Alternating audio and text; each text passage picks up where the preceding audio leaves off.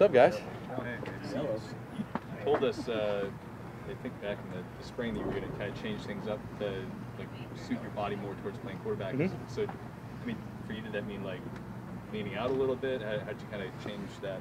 Yeah, yeah. I I leaned out, um, came in a little bit lighter than I would normally come into camp, and then my weight room routine through the off season was uh, quite a bit different as well. Not not so much from a lower body standpoint, but everything upper body, um, backside shoulder, big emphasis, and, and so forth. So is that the purpose for that? Is that I guess uh, more flexibility? I think. I don't know actually. Yeah. Just a guess. Um, well, I think I, I think as a thrower, it's more important to have a stronger backside, you know, uh, than it is your front side shoulder, and it's naturally to work your front side muscles than it is your backside. Um, and I can tell you, for me, historically, when I get sore, it's all your decel motions from from taking so many reps and throwing so many balls. And so, throughout my career here, I was always trying to find that balance of being strong enough to do what I was going to be asked to do, but you know, still be able to, to throw a ball and, and so forth. And so there was a, definitely a transition there. You mentioned uh, this offseason too. You were working on your, your footwork. Yep. You feel like you feel that paying off?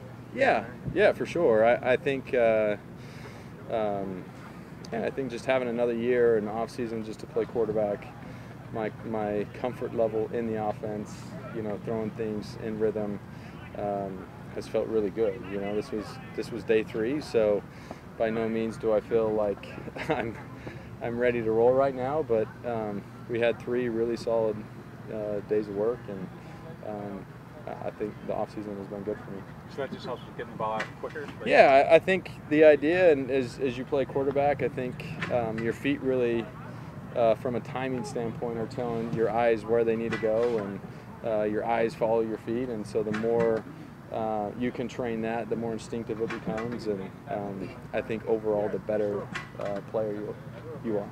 Taysom, are you truly uh, at the point right now where the offense is second nature? Like you know, like the back of your hand.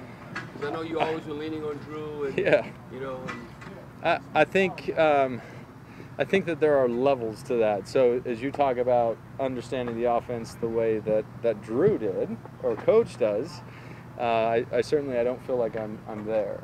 Um, but every year you become more comfortable in, in what you're doing, and I would say every year I have a different emphasis of, of what we're trying to do and I think you come into camp and you're trying to find this balance of not really scheming or game planning against your defense. Um, but I think my comfort level inside the offense is higher now that you can spend more time um, about what the defense is doing versus what offensively what your expectations are. What's uh, approach just to the competition? How, how you kind of approach the competition? Yeah, I, I mean, I think every year i- is the same for me. So, you know, this year there's a competition between Jameis and I and who's going to play, but um, the expectation for myself never changes, you know. So, my routine, the things that I'm consistently working on, that that sort of stuff doesn't change um, from from year to year. And so, the way that I've approached this year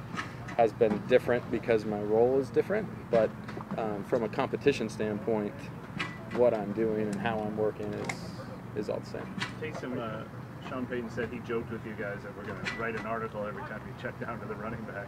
Is- are, are we wrong to put a microscope on that, or is that a big emphasis to, to, uh, to, to make those kind of throws?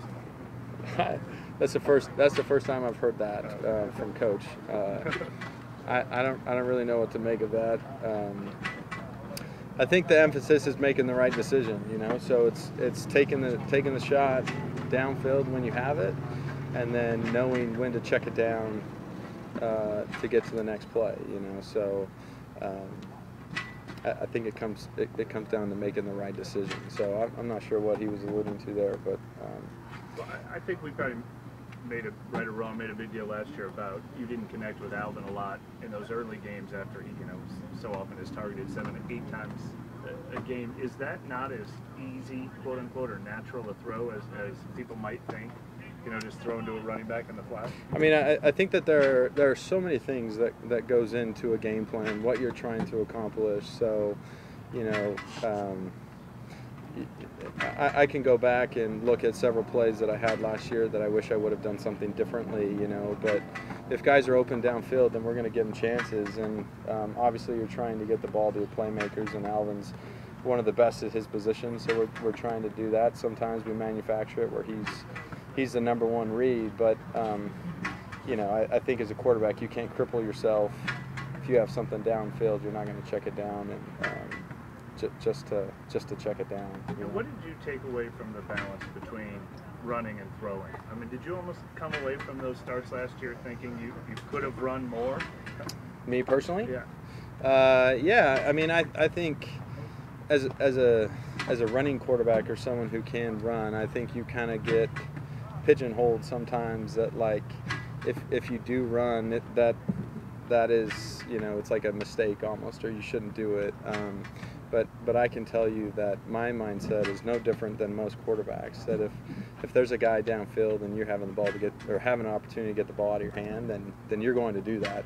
Um, you know, I think the thing for me is there, there are certain coverages that are um, really enticing for, for a dual, dual threat QB to, to take off and run. And, and at the end of the day, it's all about, you know, having good plays, back to back good plays, first downs, move the change, and, and uh, to go and score. And um, I, I do think it's, it is a difficult balance sometimes as a dual threat quarterback to, to find that. But um, I try to stay true to my reads.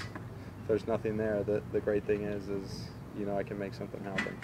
Taysom, you and Jameis will be out. Last one, pick guys. each other's brains a lot. as far Jameis? Yeah, yeah. I love working with Jameis. You know, Jameis is he, he works really hard. I think he's really smart, and he's got a lot of experience. You know, playing the position, and um, so I, I think the culture here has been no different. You know, I'd say Drew was a great mentor. You know, and allowed uh, all of us to pick his brain, and um, you know, he, he's obviously not here, but between the four of us in our QB room, we're always working together. Um, giving feedback if someone makes a good decision. We certainly let them know that we thought it was a good decision, it was a good throw.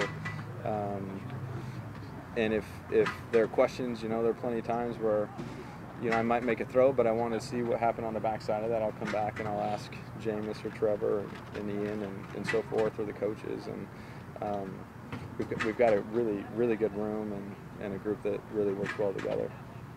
Thanks, guys. Thank you.